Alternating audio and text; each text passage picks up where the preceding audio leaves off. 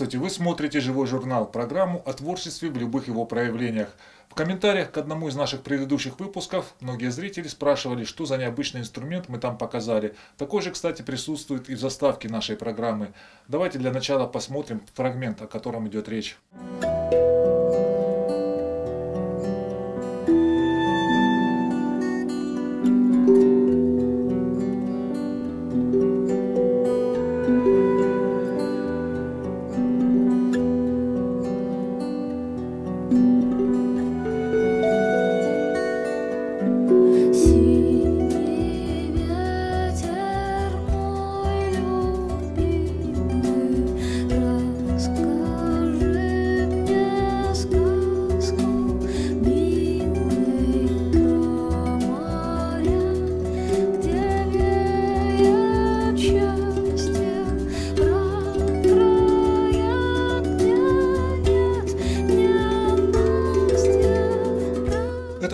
Самобытной и талантливой московской певице Юлии Тузовой мы снимали полтора года назад. Тогда героиня нашей программы, услышав, как гармонично звучит этот необычный инструмент, загорелась желанием иметь такой же. Забегая вперед, скажем, что оно уже осуществилось.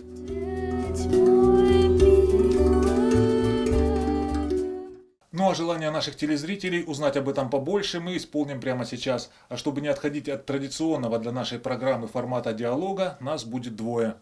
Да, как бы нескромно это ни выглядело, но у нас программа о творческих людях, и ведущий вполне тоже может быть таким человеком. Итак, я буду представлять интересы телезрителей и задавать вопросы.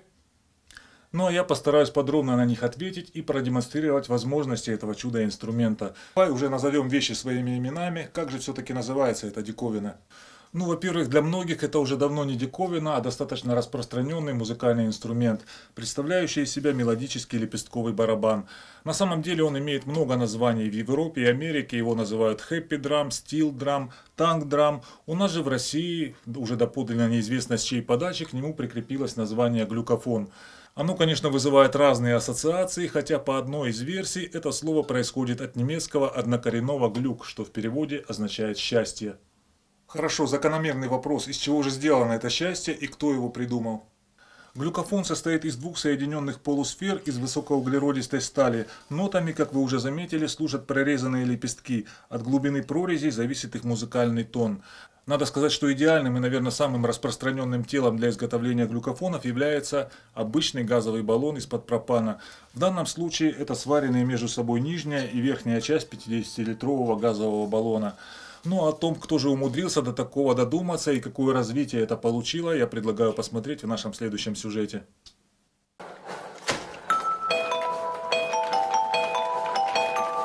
Музыка, как и любое из искусств, постоянно развивается, появляются не только новые жанры, но и новые музыкальные инструменты. Иногда они становятся плодами технического прогресса, но бывает и наоборот, возвращают нас к истокам. Одним из первых музыкальных инструментов первобытного человека был барабан. В начале 21 века появился его эволюционировавший потомок, уже не просто ударный, но еще и мелодический лепестковый, хаппи-драм, барабан счастья, или как его называют в России, глюкофон. Глюкофон можно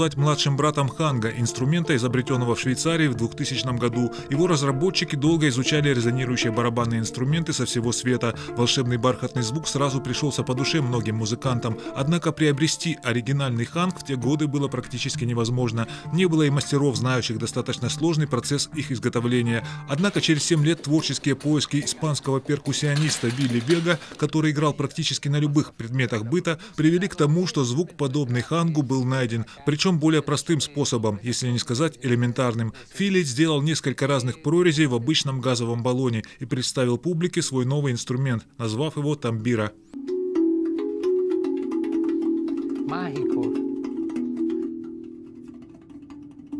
Это видео с прототипом глюкофона датируется на YouTube 2007 годом, а уже в 2008 умельцы из разных частей планеты демонстрировали эти инструменты в том виде, в котором они существуют и сегодня. Многие производители впоследствии стали достаточно известными фирмами, в том числе и мастера из России. При этом у каждого из них свои фишки, секреты и особенности, как в технологии изготовления, эксперименты с размером, формой лепестков и их расположением, так и в части внешнего эстетического оформления. На глюкофоны наносят разнообразную аэрографию, используют гравировку, травление металла, воронение, обжигают и делают гальваническое покрытие.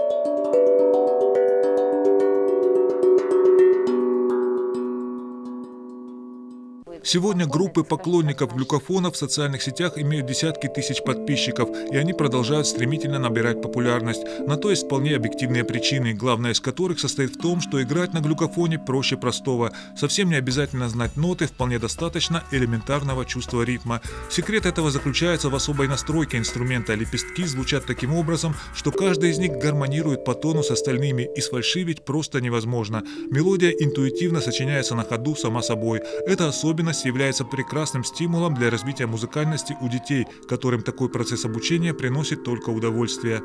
Они настолько чувствуют этот инструмент, он не только же мелодичный, он очень хорошо развивает чувство ритма, а, моторику рук, если ребенок играет пальцами. Он напрямую связан с развитием ребенка и его в дальнейшем интереса к музыке, но и э, особенным деткам, деткам-аутистам, деткам больным какими-то расстройствами, да, психомоторики, потому что глюкофоны, они успокаивают, они настраивают детей на определенный лад, а они становятся спокойней, а, веселей, более восприимчивы к словам, к действиям.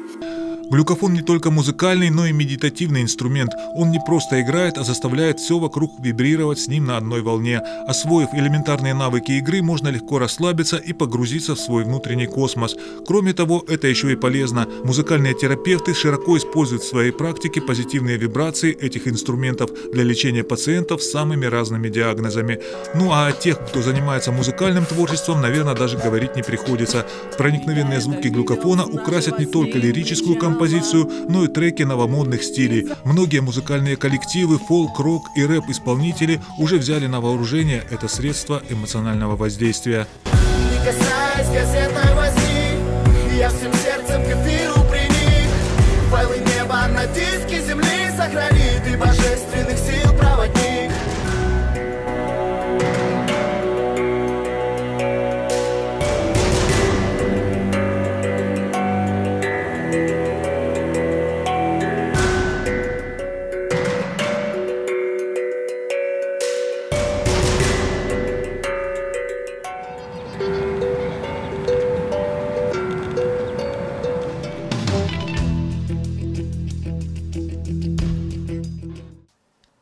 Очень познавательное видео. В конце мы даже увидели процесс изготовления глюкофона.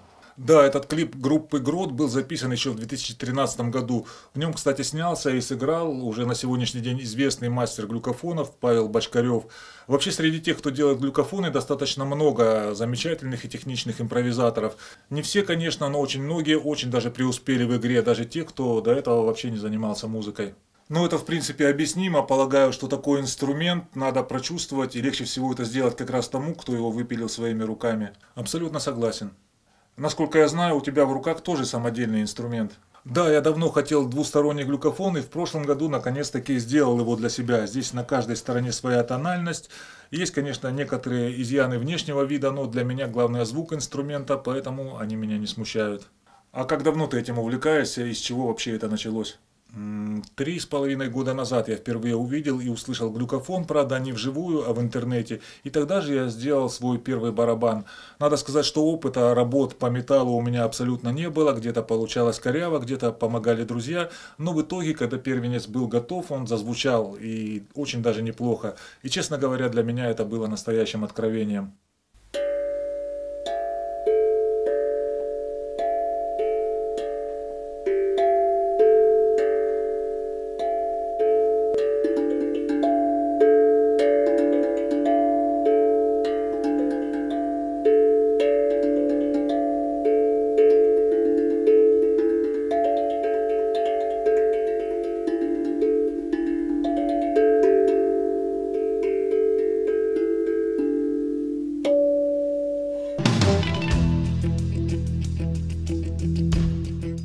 Скажи, сколько всего газовых баллонов за это время реинкарнировалось благодаря тебе и где они сейчас?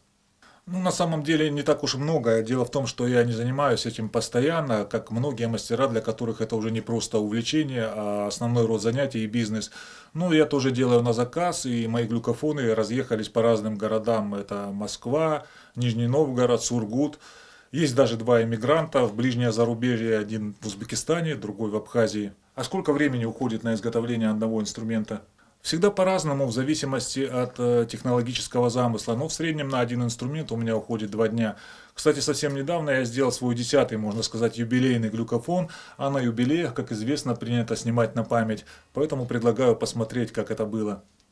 Давайте посмотрим, тем более, что среди наших зрителей тоже могут найтись те, кто захочет сделать хэппи драм своими руками, и эта видеоинструкция им наверняка пригодится. Итак, уважаемые друзья, сегодня мы будем делать глюкофон, и для этого нам понадобится лобзик по металлу, дрель, болгарка, баллончик с краской или лаком и газовая горелка. Ну и, собственно, тело будущего глюкофона, газовый баллон. В первую очередь хочу обратить ваше внимание на соблюдение техники безопасности при работе с газовым баллоном. Даже если на 99% вы уверены в том, что там газа уже нету, не стоит резать его болгаркой до тех пор, пока вы не открутите этот вентиль. Затем надо наполнить баллон водой, промыть и потом уже работать. Мы это уже сделали и сейчас займемся зачисткой корпуса будущего инструмента.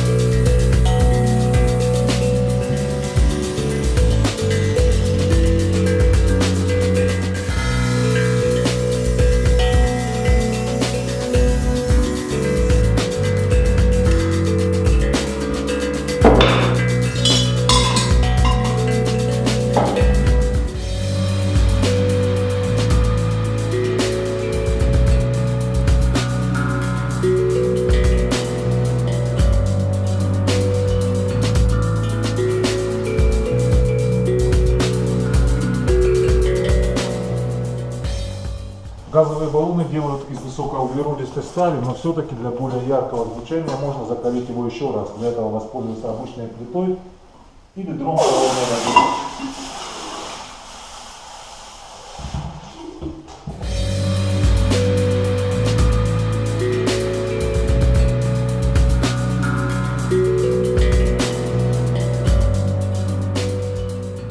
Ну корпус нашего инструмента практически готов. Теперь необходимо нанести разметку для прорезания лепестков.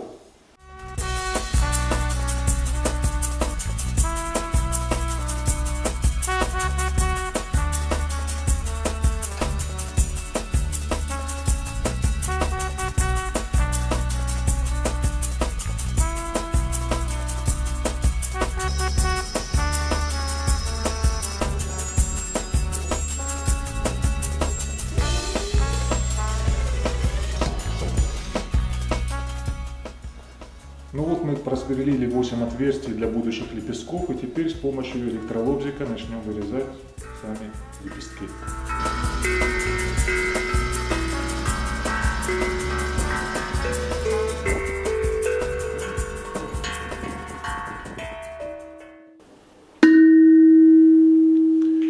А вот и первый звук будущего инструмента, но в дальнейшем он еще наверняка изменится при окончательной настройке.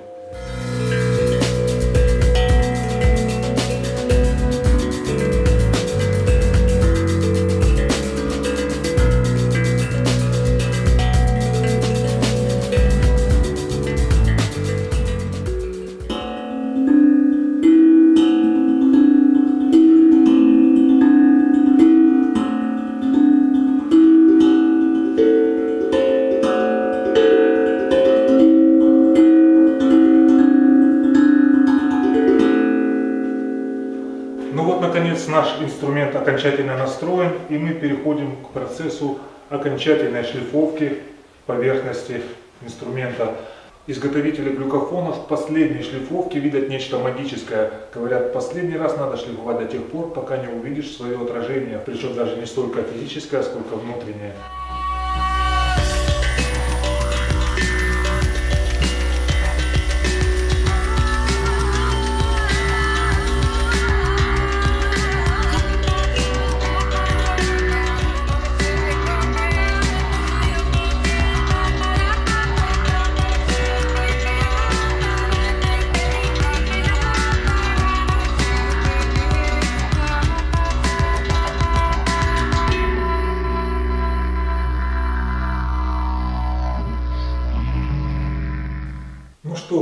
Наш глюкофон практически готов, но, к сожалению, пока мы не сможем насладиться его звучанием, поскольку лак еще не обсох.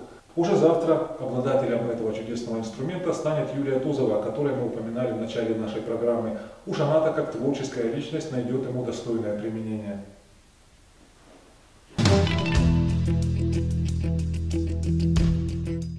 Ну что ж, пожелаем обладателям глюкофонов освоения новых музыкальных горизонтов, а время нашей программы, к сожалению, подходит к концу. И раз уж нас двое, я предлагаю продемонстрировать еще одно замечательное качество глюкофонов, их сочетание с другими музыкальными инструментами. С удовольствием, я думаю, блюз как универсальная основа многих современных музыкальных жанров для этого очень даже подойдет.